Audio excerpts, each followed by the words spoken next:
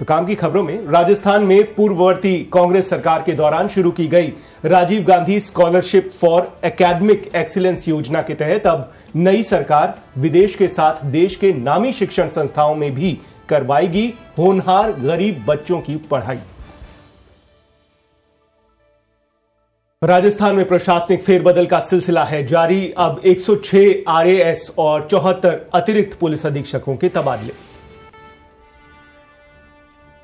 राजस्थान की अधीनस्थ अदालतों में वकील के निधन पर अब निर्धारित समयावधि के लिए ही रहेगा न्यायिक कार्य स्थगित, नहीं चलेगी बार एसोसिएशन की मनमानी, राजस्थान बार काउंसिल ने हाईकोर्ट को बताया।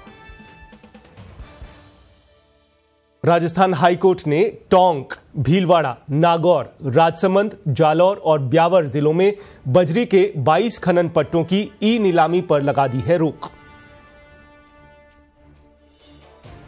राजस्थान में अब जनप्रतिनिधियों की सिफारिश पर ही खुल सकेंगे नए स्कूल और अस्पताल।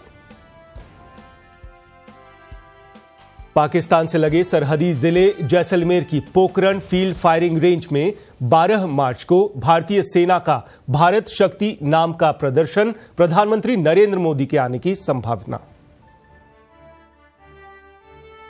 जयपुर के जगतपुरा इलाके के रामनगरिया में एक निर्माणाधीन कमर्शियल भवन में बिना मानकों के पालन के खुदाई के दौरान तीन मजदूरों के दबने से मौत, प्रोजेक्ट मैनेजर मौके से भागा। राजस्थान पर्यटन विभाग के अतिरिक्त निदेशक संजय पांडे महिला उत्पीड़न के दोषी पाए जाने पर सेवा से किए गए बर्खास्त।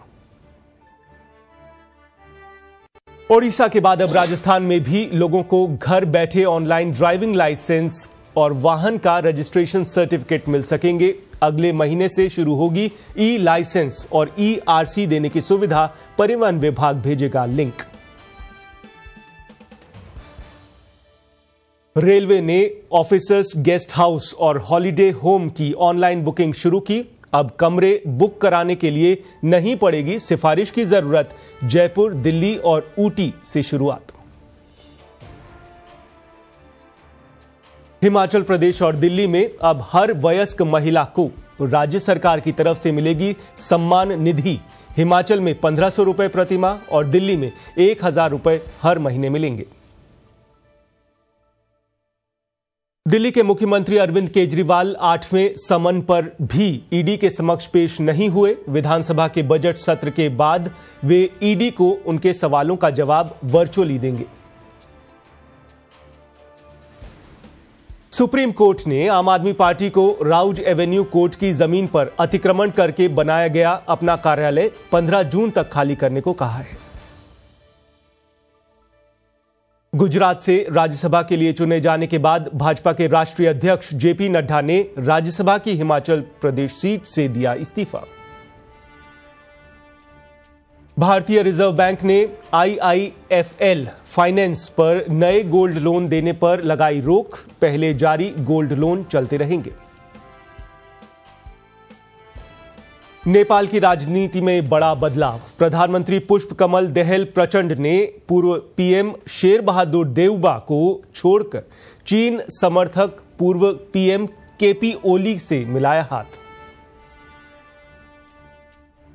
इधर झारखंड मुक्ति मोर्चा के स्थापना दिवस रैली को संबोधित करते हुए पूर्व मुख्यमंत्री हेमंत सोरेन की पत्नी कल्पना अपने पति को साजिश करके जेल भेजे जाने का ज़िक्र करते भावुक हो गई रो पड़ी जयपुर में राजस्थान पत्रिका की ओर से शुरू किए गए स्पीक आउट कार्यक्रम के तहत आमिर रोड स्थित नगर निगम कॉलोनी के चित्रकूट गार्डन में आयोजन कल सुबह नौ बजे से। मुंबई में खेले गए रणजी ट्रॉफी के पहले सेमीफाइनल मुकाबले में तमिलनाडु को पारी और 70 रन की करारी शिकस्त देकर मुंबई पहुँची सैतालीसवीं बार फाइनल में। ऑस्ट्रेलिया के पैट कमिंस आईपीएल में होंगे हैदराबाद सनराइजर्स के नए कप्तान। कमिंस को हैदराबाद ने 20 करोड़ 50 लाख रुपए में खरीदा था। भारतीय कुश्ती संघ की चयन ट्रायल रोके जाने की मांग वाली बजरंग पूनिया समेत चार पहलवानों की याचिका पर दिल्ली हाईकोर्ट का केंद्र सरकार और भारतीय कुश्ती संघ को नोटिस। अगले सुनवाई सात मार्च को। राजस्थान में कम नहीं हो रही सर्दी। माउंट आबू में रात का तापमान माइनस दो डिग्री पहुँचा। दस स्थानों पर पारा दस डिग्री से नीचे।